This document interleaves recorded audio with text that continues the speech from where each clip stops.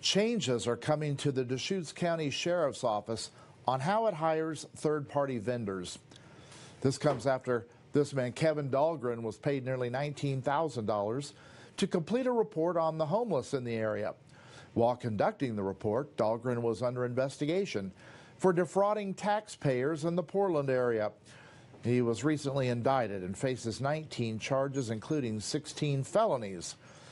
Sheriff Shane Nelson apologized for the mistake and said he's making changes.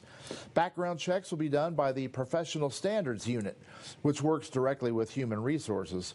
They include vetting social media and talking to family, friends, and employers. Of course, it can be tough to get information from previous employers as they are not legally required to give out any information.